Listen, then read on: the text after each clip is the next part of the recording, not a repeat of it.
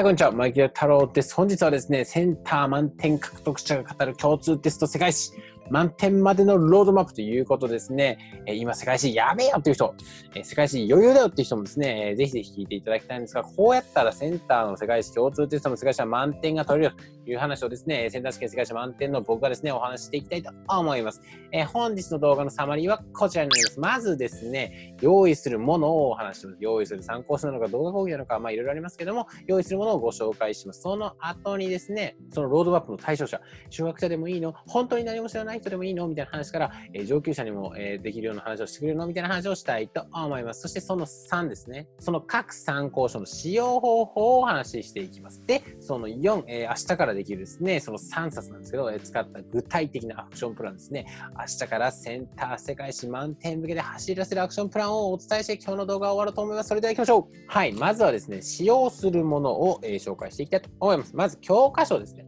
教科書は今持っている人、持っている人はですね、もう結構やり込んじゃったとかいう人は、ぜひぜひその参考書で構いません。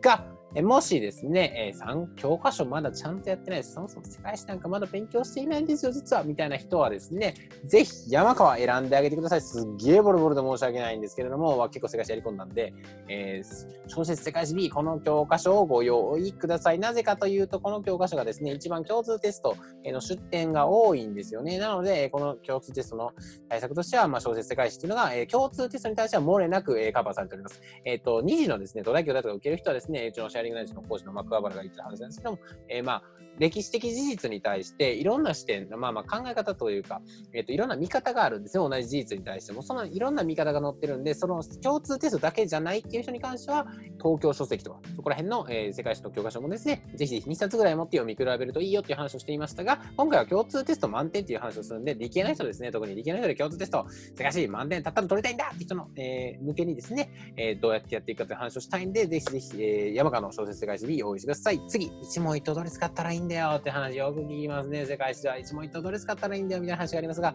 今のところですね、書店行って全部確認してきましたが、今のところ現状、共通と世界史で一番ベストなのはこちらになると思います。時代と流れで覚える世界史美用語集、えー、ですね、えー、これになりますね。ですが、もうすでに結構一問一答やり込んでるよって人はぜひそれ使ってくださいが、東進のやつはちょっと共通テストだけの人には、えー、難易度すごい高いんで、間違って東進使っちゃってる人はですね、あれ結構難しすぎる内容まで入っちゃってるんで、えっ、と、それはちょっと変えた方がいいかなと思いますね。えー、で、これのいいところ、なんでこれをお勧めするかというと、図とかが豊富なんですよね。えー、図は本当に豊富。えっ、とですね、世界史難しいのって、えっ、と、土地の図とか、えそういうですね、ものがですね、頭に入ってこないと。えあと、世期間ですね、何世紀に、えっ、と、例えばヨーロッパで9世紀何があって、アジアで何があってっていう話をですね、同時に接続できるということがなかなか難しいっていうのが、えー、ぶち当たる困難だと思うんですけれども、それをですね、綺麗に図で、えー、書いてくれてるんですね。なんで、右側にも単文の文章の一問一答、まあ、東進のよくあるような一問一答が載って、え、ー、と、左にはですね、えっ、ー、と、まあ、図とかもあったりとか、えー、文化史のまとめもあったり、えー、まあ、多くは、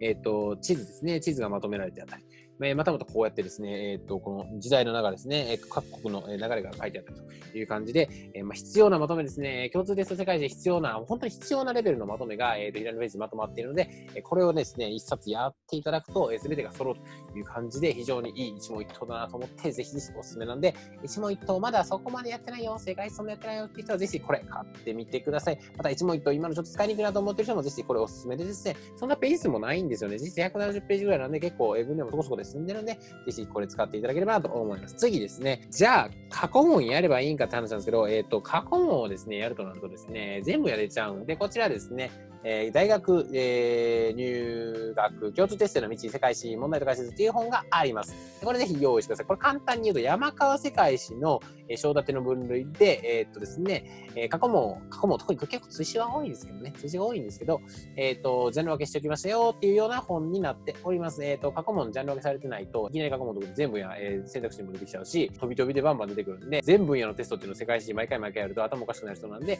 まあ、着実に一章ずつ覚えていきたいっていう人にはですね、これぜひおすすめですし、えー、僕がおすすめするのは1章ずつですよね。いきなり15章全部読んで全部やれてたらもう頭おかしいやつになっちゃうんで、次話すですね、実際に具体的なやり方っていうのもそちらになってくるので、ぜひ、この3冊ですね、ご用意いただければと思います。では、次、行きましょう。はい、このロードマップの対象者ですね。次はロードマップの対象者は、小学者の人 OK です。えー、じゃあ逆に50点ぐらいの人全然 OK です。というか、50点ぐらいの人は、えっ、ー、と、復習すべき、えー、分野とかあると思うんですね。この分野まだまだ全然覚えてないとかいっぱいあると思うし、えー、まだ未習の分野もあると思います。そういう分野の人はですね、ほぼ小学者とやることが同じなので、ぜひこのやり方参考にしていただければなと思います。80点、90点超えてくれてる人はですね、ちょっとやり方変わってくるんで、まあ、自分でまとめを作ったりとかですね、センター、えー、仕返しにですね、品質のですね、えっ、と、分野を切り取ってですね、まとめたりとか、センターでちょこちょこ出るんだけど、えっ、ー、と、まあ、覚えておくべきなのは、特に近代史にすごく多いんですけど、すごい教科書、まあ、近代史に関してはまとめが悪いんで、まあ、そういう部分を切り取ってまとめたりとか、えー、各国センターの過去問ベースでまとめられた、まあ、まとめみたいなのを作っていく必要があるんですが、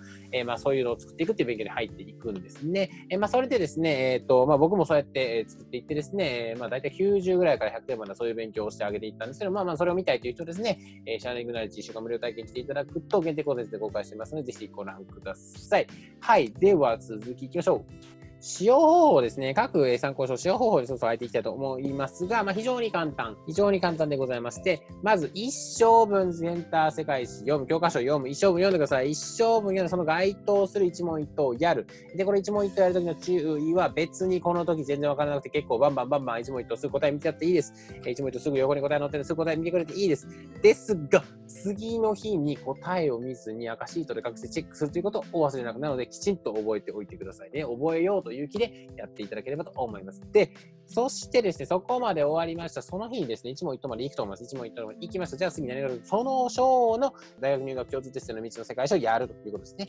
実際のセンター試験では一問一答ではありません。文章の中で聞かれたりします。例えば、しかも正規って一問一答あんま出ないんですけど、結構、あの正規ってセンターで覚えておかないといけないことが非常に多いので、それを確認する。だからこれをやって、間違いの選択肢から、間違いの選択肢あるあると思いますが、まあ、正解を選びだったら3つ誤りがあると思うんで、その3つの誤りからですね、あの線を引っ張ってですね、違うところを訂正して、でその派生の復習をして、教科書ですね、派生の復習をして、というやり方をやっていただいたら構いませんし、誤っているものを選べたら、誤っている選択肢から、えーと、訂正をして、そこからまだ学んでいって、また産業は正解の選択肢なので、その内容を自分は覚えていたかみたいなことを確認をして、っていう感じで、このセンターの過去問を使ってですね、ベースで、えー、勉強していくということをやっていただいて、一生のサイクルは終了です。次、2日目ですね。2日目に入るときに、じゃあまず恒例の前日やった分ですね、前日やった分を、えー、赤線シートで隠してですね、チェックしてください。この時間違えたものはチェックしておきましょうっていう感じで、えー、と、一問一答のチェックから次の日は入る。で、またですね、次の章、例えば、えー、初日にですね、序章をやったら次1章になると思いますし、1章やったら2章になると思います。次、えー、次の章のページを1章読む。1章分というのがポイントですよ。2章分なんか1回やるとちょっと頭マークしますから。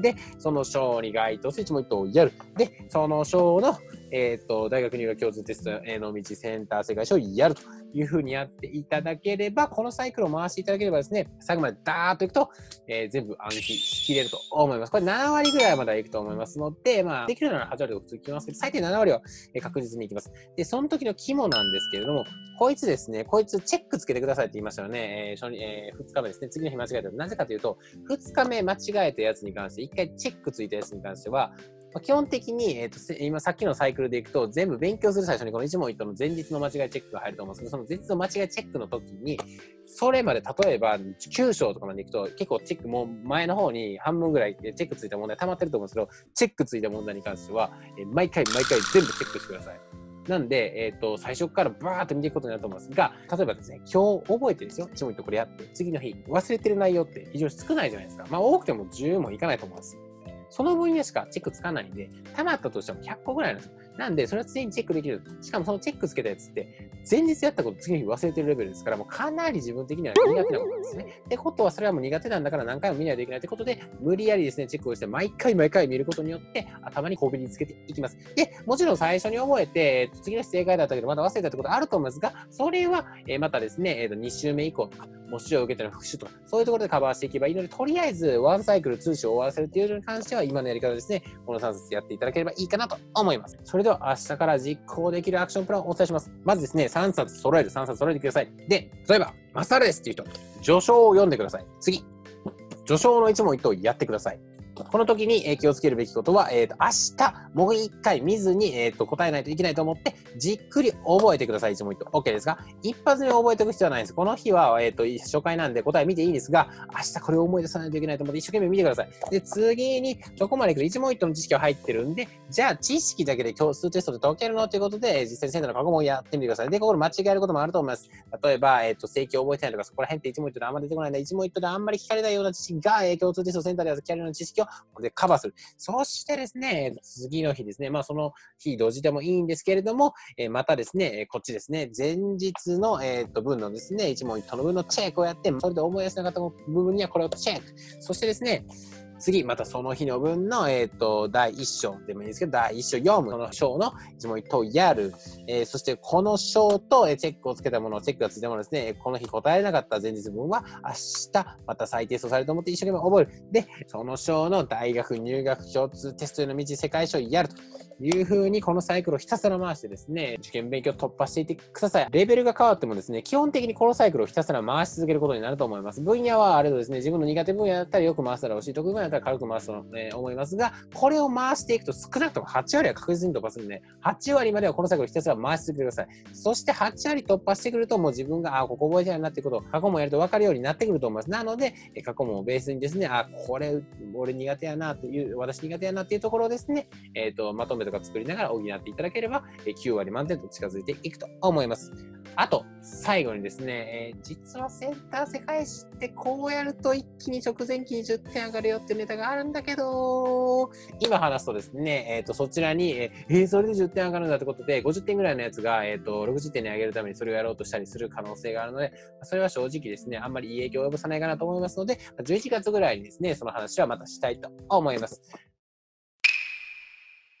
このチャンネルではですね、受験勉強全般に関することを論理的にお話しするということをやらせていただいております。明日もですね、えあなたの受験勉強のお悩みをですね、論理的に解決したいなと思っておりますので、ぜひ高評価とチャンネル登録の方よろしくお願いいたします。またですね、僕はシャレンナイという教育サービスを運営しております。東大、京大、阪大、医学部、え、また首席合格者のメンバーとともにですね、えー、あなたの受験勉強の計画を論理的に作成し、またですね、あなたが、えーと、これ作ってほしいという、えー、ネタに関しては、えー、オリジナルの限定コンテンツを、えー、あなたに提供してですね、また他の生トが作ってほしいというと限定コーデズも、えストックしてですね、皆さんで見れるように、共有することによって、他人の質問からも学ぼう、また自分の質問からも当然学ぼうということで、知識をシェアするシェアリングなというサービスを行っております。ぜひご興味ある方は概要欄から、1週間無料体験ご参加ください。はい、本日も動画をご覧いただきありがとうございます。えー、いつもコメントご評価ありがとうございます。えー、コメント、えー、ご質問、に関しては全てお答えいたしますので、ぜひぜひ、え具体的に分かりやすくコメントしていただければ、具体的に分かりやすく回答させていただこうと思いますので、ぜひ